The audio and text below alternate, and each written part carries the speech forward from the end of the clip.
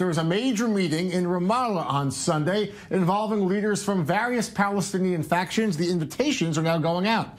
Palestinian Authority President Mahmoud Abbas is convening the Palestinian Central Council, and invitations reportedly have gone out to all factions, including Hamas and Islamic Jihad, which are not members of that umbrella PLO organization. A Central Council executive member told the Jerusalem Post that the goal of this upcoming meeting, quote, is to set the strategy for the coming period in the wake of Trump's decision to call Jerusalem Israel's capital.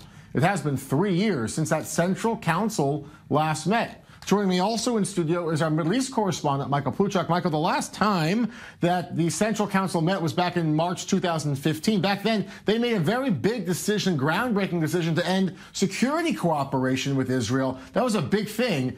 Could we expect?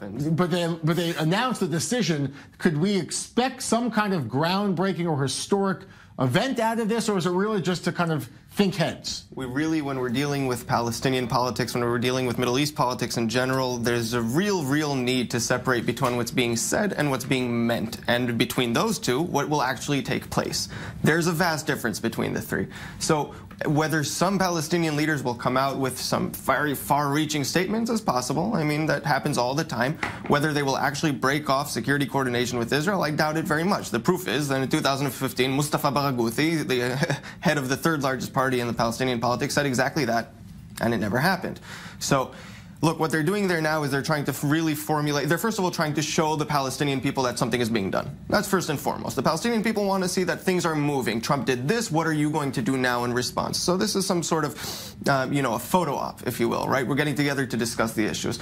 Once that's done, I mean, essentially they're going to talk about this move. Uh, Abbas, for a few years now, has been on a, a gradual uh, move towards the international community, shifting away from the U.S., and he's shifting gears up in that direction now following Trump's recognition of uh, Jerusalem. So that's going to be about that as well. There's a number of things they can discuss. They're going to discuss dissolving the PA, reportedly. Again, I doubt very much that that's going to happen. You know, breaking off ties, security ties with Israel is another issue on the agenda. All right, dozens of, of, of Palestinian politicians, leaders will be there, uh, reportedly up to 80 80 invitations went out. We'll stay on top of it and know you'll be reporting on this in the days ahead. Thank you, Michael Pluchak, for that analysis.